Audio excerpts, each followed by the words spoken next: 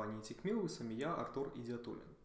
А, растущая дисфункция рынка казначейских облигаций в США а, в условиях тотального бегства в наличные со стороны всех типов инвесторов, тех, кто инвестирует в рисковые активы, в защитные активы, в облигации казначейства. Это бегство в наличные вынудило ФРС вмешаться в четверг с довольно резкой контрмерой, предложив рынку 1,5 триллиона долларов ликвидности через одномесячные и трехмесячные операции репо. 1 триллион долларов, долларов ФРС предоставил в четверг. Сегодня рынку должно достаться еще 500 миллиардов долларов через трехмесячную операцию репо. Согласно заявлению Нью-Йоркского Федерального резервного банка, который выступает непосредственным спасителем рынков, то есть непосредственно предоставляет ликвидность через операции репо,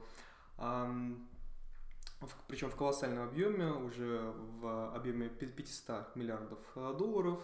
Э, эти операции, они будут регулярно уже осуществляться, по крайней мере, до 13 апреля, и это все больше начинает э, напоминать старт уже четвертого количественного смягчения, четвертого раунда количественного смягчения. Тем не менее, данные а, по вчерашнему, будем так говорить, выкупу ликвидности, то есть по вчерашнему спросу ликвидности со стороны а, дилеров показывают, что проблема могла быть вовсе не в дефиците только, но и в кредитном риске, так как а, видно, что дилеры подали заявок, предоставили обеспечение всего на 78,4 миллиарда долларов, хотя лимит а, этой операции, этой операции репо составлял 500 миллиардов долларов.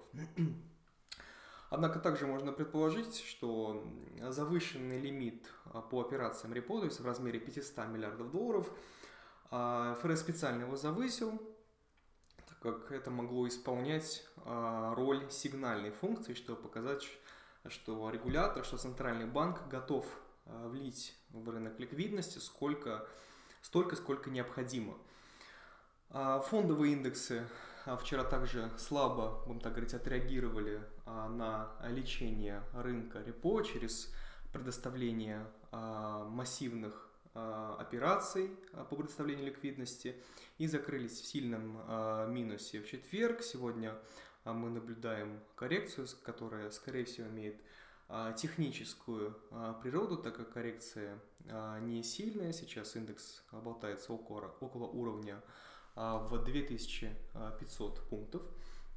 А также а, массивные операции репо вчерашние и сегодняшние не смогли вернуть в норму известный индикатор кредитного риска и ликвидности в банковском секторе. Это спред между ставками Libor и процентного свопа. Ставка Либор является межбанковской а, ставкой, а, то есть ставкой, по которой банки занимают а, друг другу. И причем эти кредиты, они не обеспечены, то есть в этой ставке должен учитываться кредитный риск. Ставка, соответственно, overnight процентного свопа, который имеет как раз таки аббревиатуру ОИС. Фиксированная ставка в процентном свопе.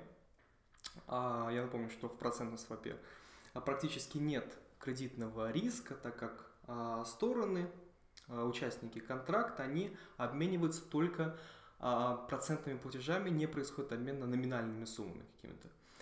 И вот расширение этого спреда, то есть разница между ставкой Libor и между ставкой ОИС трехмесячной, это фактически означает рост кредитного риска в 2008 году а, при коллапсе банка Lehman Brothers он достигал этот спред 83 базисных пунктов.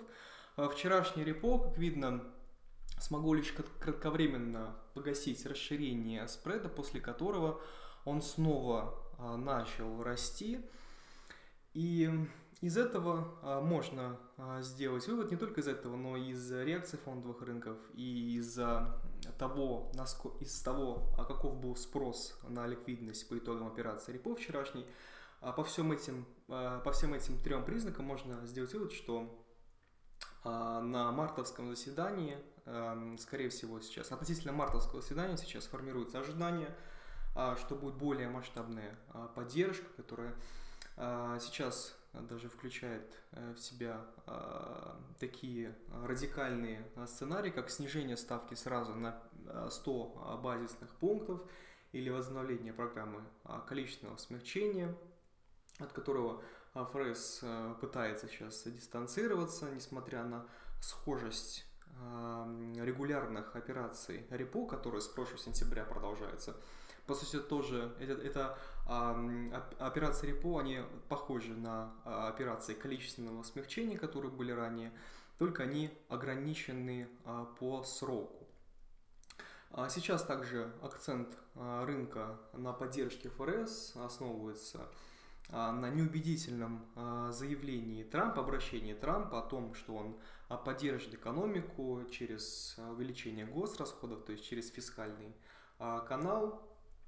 И этого, скорее всего, не произойдет в короткое время, так как это натыкается на сопротивление демократов.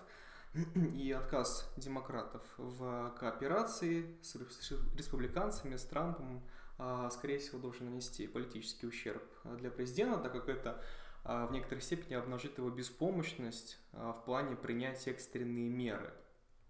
И в соответствии с этим, как я уже сказал, акцент рыночных ожиданий снова перемещается на поддержку со стороны ФРС и три признака неэффективности, будем так говорить, репо, который провел ФРС в четверг, они сейчас формируют ожидания. Есть перспективы, что укрепление доллара в начале следующей недели перед заседанием ФРС, вероятно, будет сильно ограничено. А, на сегодня все. Спасибо за ваше внимание. Увидимся с вами в понедельник.